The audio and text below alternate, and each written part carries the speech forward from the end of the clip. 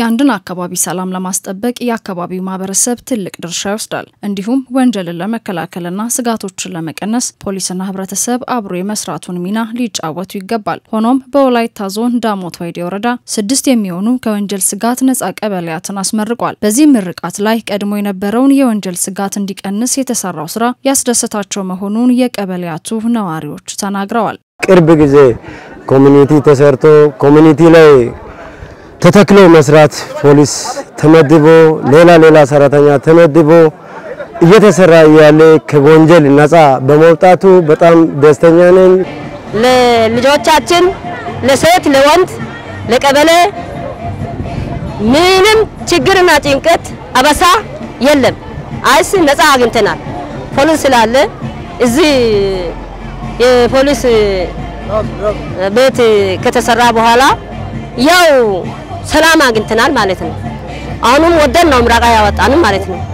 በመፍትያችን እየተመላለሰን ልጆቻችን ቢሆን የትም ብንልክ ለትምህርት ሄዱ ለስራ ሄዱ ምንም ሳንሳናክል እስካሁን ቆይተናል። ደግሞ ትንሽ እየቆየ ምረቃን የኮሚኒቲ ምረቃ ሲባል ደስታ ተሰምቶናል።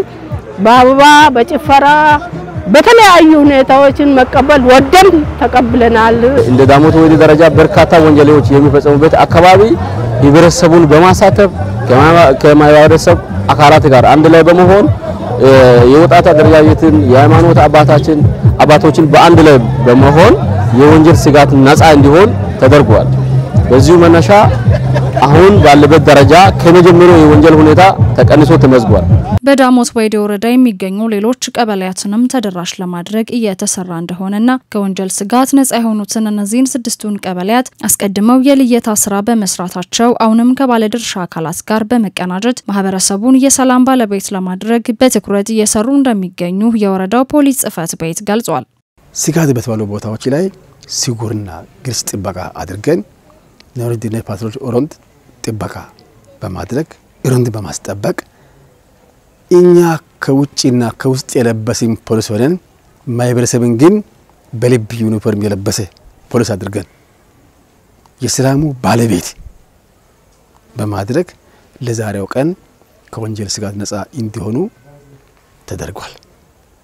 ጸጥታ መዋቅሩ፣ ፖሊሱ፣ ሚሊሻው፣ ሌላውም ባለድርሻ አካላት በዚህ ጉዳይ በሚገባ ተቀናጅተው ሰፊ ስራ ይሰራል። ወደፊት እንደውም የዛሬ መመረቅ ብቻ ሳይሆን የሚቀጥለው አመት ሳይሆን ጊዜ ሳይሆን ሰው ወደ ስድስት ወር አምስት ወር ከዛ በኋላ ጉዳዩን ፈትሸን ፌስቲቫሉ ላውተን ነጻ ከዚህ በላይ የበለጠ ነጻ እንዲሆን የማድረጉን ስራ ተቀናጅተን እንሰራለን የሚል አስተያየት አለ።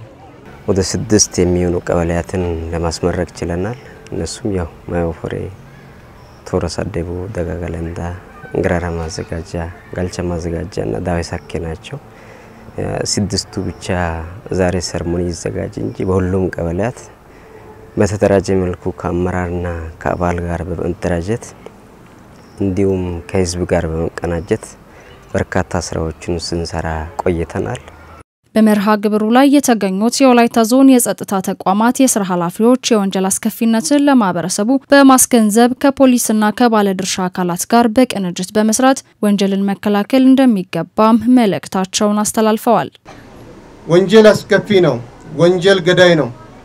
ወንጀል ቤተሰብ በታይ ነው። ስለዚህ ወንጀልን መከላከል ፖሊስ ብቻውን የሚሰራው ተግባር አይደለም። ያለ ህብረተሰብ ተሳትፎ ያለ አጠቃላይ ማህበረሰብ ፖሊስ ከባህር ውስጥ አሳ ወደ ውጭ ወጥቶ ለአፍታ መቆየት እንደማይችል እንደዚሁም ፖሊስ ካለ ህብረተሰብ ተሳትፎ ምንም ሊያደርግ አይችልም። ፖሊስ ባለሙያ ነው። ህዝብ የጸጥታ የሰላም ባለቤት ነው።